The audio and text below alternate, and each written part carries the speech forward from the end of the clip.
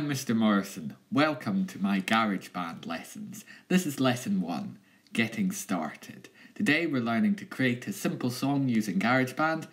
We're hoping to explore the GarageBand app, create a simple drum beat, create a simple song using single notes, and experiment with some of the instrument sounds. So let's get straight in and go to the GarageBand app.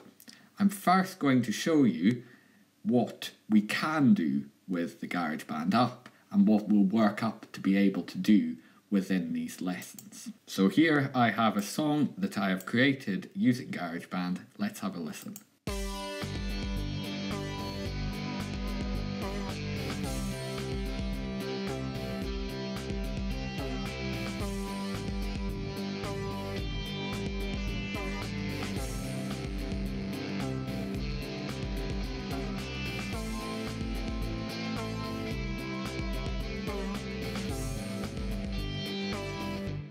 Okay, so I think you get the idea of that.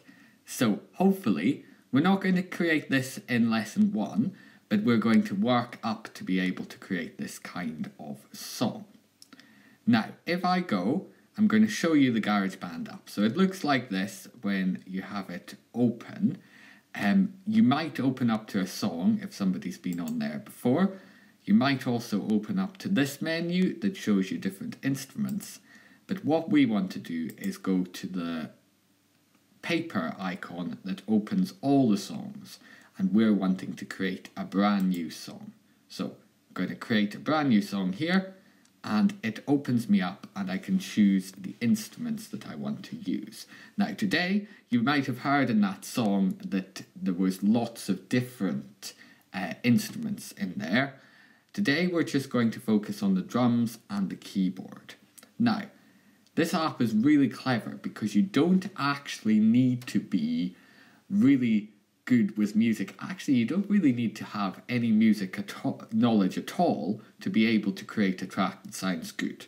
So I can show you. So within the drums, we have what's called acoustic drums. So if we were going, if you knew how to play the drums properly, you could probably come up with a really good beat using all the different bits. But I'm assuming most of us don't know how to play the drums properly. But there is this thing called the beat sequencer.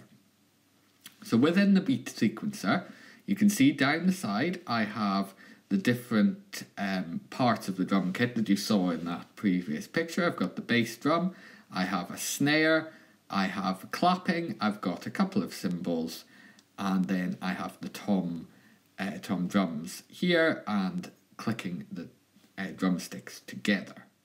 Now I can change voices of this, but today we're just going to leave it with how it opens up.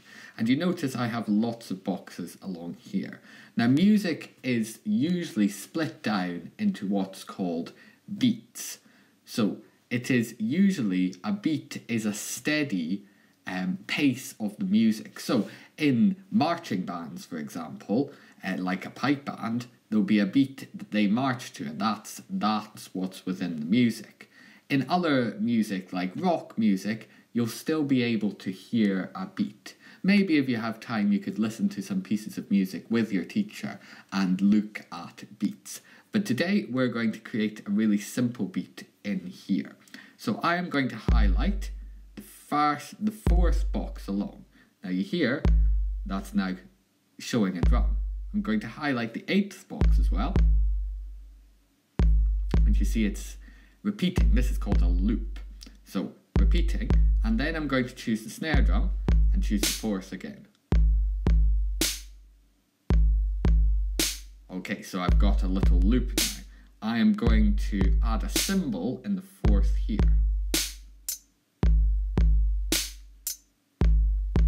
Now there's a reason why I've chosen fourth one each time uh, because it is and the way the, the, the beats are set up it makes it really easy for us to put something on top.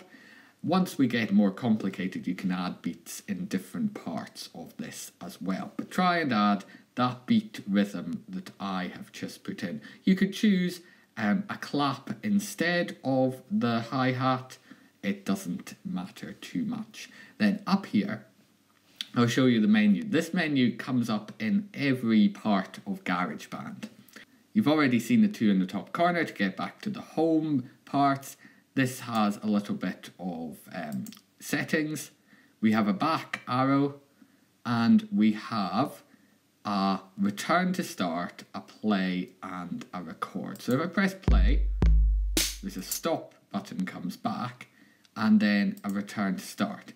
Now you notice this thing that looks like a ruler is showing that going back to the start. So this is split into what's called bars and for each bar there's a number. So we're going to just have it at, set at 8 bars today and then we have a little volume control here and some more settings. But today we're going to make sure it's back at number 1 and we're going to record this. So if I press the record button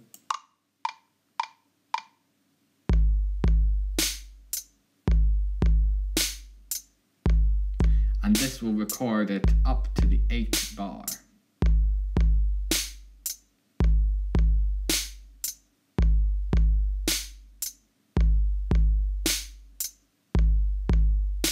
And we can press stop when it goes green because that means it's recorded our first bit. So that's the first step, we have a beat. Now we're going to play something over the top. Now you notice a extra icon has appeared here that looks maybe like a brick wall.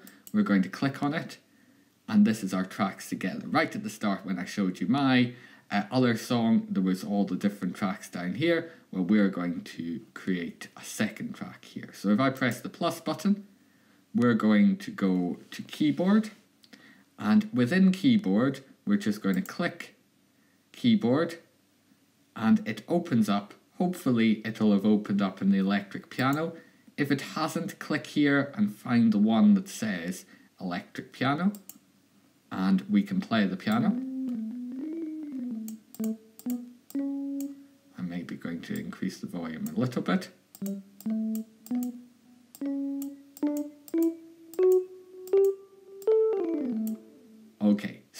We're going to play about with creating some notes over the top. We're going to use where it says C, we're going to try and use C, D, E, maybe F and G as well. None of the black notes, just the white notes. So let's go back to the start and we're going to play and I'm going to try and play something over the top. Okay,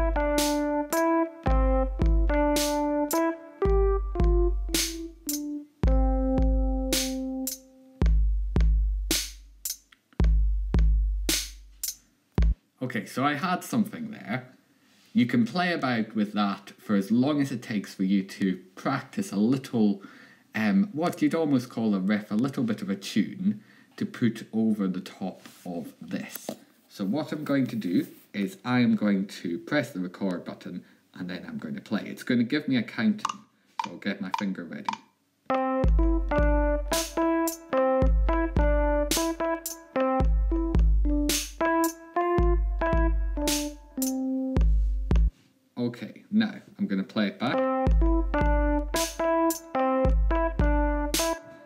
Feel I wasn't quite in time, so I'm going to press undo and I'm going to try again.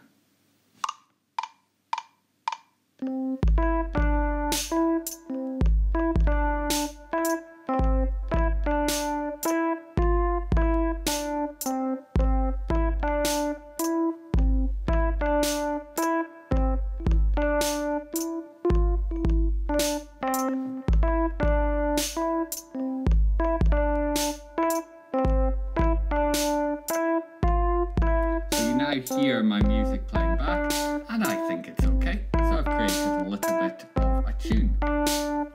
So now that I've created my tune, I can have a play about with the different instrument sounds. So if I if I click on the electric piano, if I go back to the piano and I click on the electric piano, I can have a different um, type of instrument. So I might want uh, the wave bells instrument. Let's have a listen to this. And there you go. So have a play about with that. You can also change the sound the drums make as well.